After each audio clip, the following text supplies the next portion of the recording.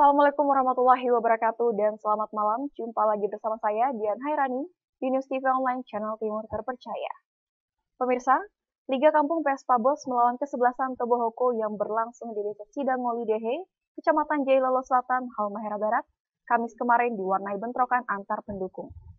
Seluruh pemain berhamburan keluar lapangan setelah aksi baku hantam antar supporter terjadi hingga areal pertandingan. Kericuan ini diduga lantaran pendukung kedua tim kesebelasan itu saling ejek. Meski sempat kewalahan, aparat kepolisian berhasil mengendalikan situasi. Berikut laporan selengkapnya untuk Anda. Aksi baku hantam antar pendukung kedua kesebelasan terjadi di lapangan bola Riodani, Desa Sidangoli Dehe, Kecamatan Jailolo Selatan, Kabupaten Halmahera Barat. Perkelahian masal ini viral di media sosial. Bahkan saling serang antar penonton nampak terjadi hingga area lapangan pertandingan. Seluruh pemain terpaksa lari keluar lapangan demi menjaga keselamatan diri. Insiden antar pendukung ini dibenarkan Kapolsek Jailolo Selatan Ibda Trianda Tegar Prasetya. Menurutnya, kericuan antar supporter terjadi pada menit ke-13 babak kedua pertandingan. Kemenangan 1-0 dirayakan berlebihan oleh pendukung PS Tobohoko.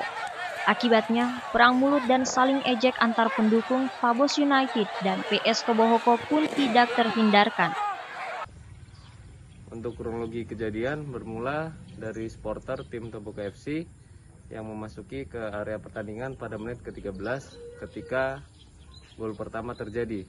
Hal tersebut menyulut emosi dari supporter tim Fabos FC sehingga ikut masuk ke area pertandingan dan akhirnya terjadi keributan di dalam lapangan.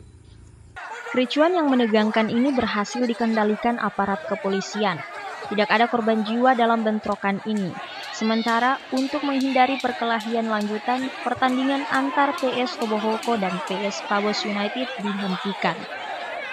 Tim News TV Online melaporkan dari Halmahera Barat, Maluku Utara. Demikian lintas daerah hari ini. Nantikan berita selanjutnya hanya di News TV Online channel Timur Terpercaya. Wassalamualaikum warahmatullahi wabarakatuh.